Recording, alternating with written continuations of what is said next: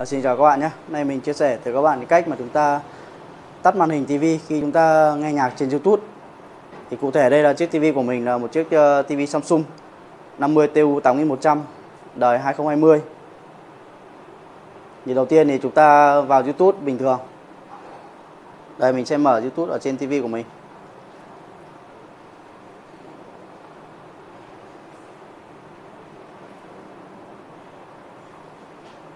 Rồi sau đó mình sẽ mở một cái bản nhạc bất kỳ nhá.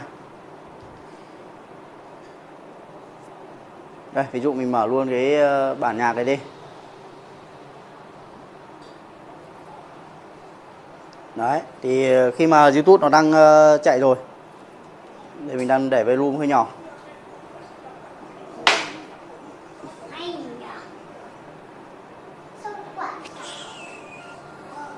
Đấy, khi mà TV đang chạy nhạc trên YouTube, trên ờ, YouTube rồi. Thì chúng ta muốn ờ, tắt cái cái hình ảnh đi chúng ta chỉ nghe nhạc thôi. Thì chúng ta sẽ thao tác như sau.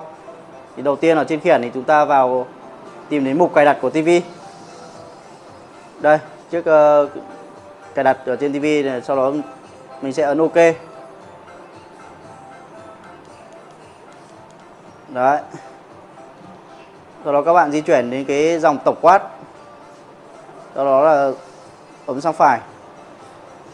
Chúng ta sẽ tìm đến cái dòng công cụ hỗ trợ. Ấn OK.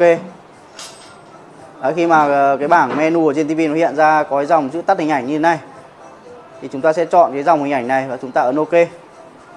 Đấy, như vậy là TV là nó đã tắt cái màn hình rồi nhưng mà mình vẫn đang nghe nhạc bình thường. Khi mà chúng ta tắt màn hình rồi thì chúng ta có thể tăng giảm volume ờ, bình thường nhá. Chúng ta muốn nghe to thì chúng ta tăng volume lên nghe nhỏ chúng ta giảm volume ở trên khiển. Thì khi mà chúng ta muốn hiện lại cái màn hình tivi, thì ở trên khiển chúng ta sẽ ấn cái phím bất kỳ ngoài nút nguồn và nút ờ, uh, tăng giảm âm lượng. Thì mình cứ chọn cái nút OK ở khiển đi cho dễ. Cho dễ ấn. Đấy. Như vậy là tivi nó lại hiện màn hình trở lại một cách bình thường. Có một cách mà chúng ta thao tác nhanh nữa thì ở trên khiển. Ở trên khiển là chúng ta ở cái nút ờ, volume. Ờ, cái nút volume thì chúng ta sẽ ấn mà giữ cái nút volume ở trên khiển.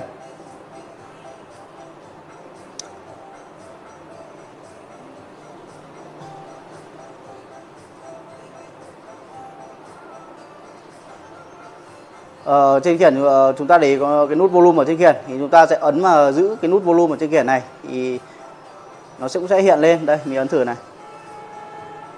Đấy nó, nó sẽ hiện lên cái bảng menu mà có cái dòng ờ, tắt hình ảnh này.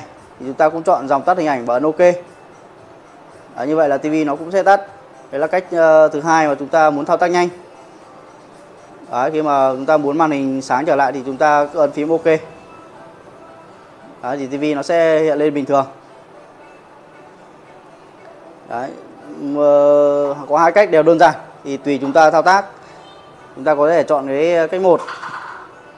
Ở cách một thì chúng ta vào cái phím cài đặt. Ok. Tìm dòng tổng quát. Ở sang phải. Chọn dòng công cụ hỗ trợ. Đấy và chọn dòng tắt hình ảnh. Ok là là được. Còn bạn nào bạn nào mà muốn nhanh thì chúng ta ở trên khiển chúng ta có cái nút uh, volume. Nút volume này thì chúng ta sẽ ấn xuống nhá không uh, ấn lên hoặc là không muốn tăng hoặc là ấn giảm volume nhá chúng ta sẽ ấn vào dí xuống dí thẳng xuống. Đấy. Đấy như thế là nó sẽ nhanh hơn là cái cách một. Thì tùy các bạn có thể dùng một trong hai cách. Đấy. Ở TV Samsung này thì những TV từ năm 2020 thì thì mới có chức năng là tắt hình ảnh ở trên ờ, TV khi chúng ta nghe nhạc trên YouTube này. Còn những model trước đó thì nó không có chức năng này. Thì nếu mà các bạn ờ, không ờ, biết TV nhà mình đời bao nhiêu thì chúng ta có thể chúng ta cứ thử thao tác. Nếu mà nó hiện ra cái cái bảng menu mà có dòng tắt hình ảnh này thì chúng ta có thể là thực hiện được. Còn nếu mà không có cái bảng menu này thì chứng tỏ là TV nó không có chức năng ờ, tắt màn hình khi chúng ta nghe nhạc trên YouTube. Đấy, như vậy là mình ờ, vừa chia sẻ tới các bạn cái cách mà chúng ta tắt cái màn hình chiếc TV Samsung. Khi chúng ta nghe nhạc trên YouTube mà chúng ta không muốn ờ, hình ảnh.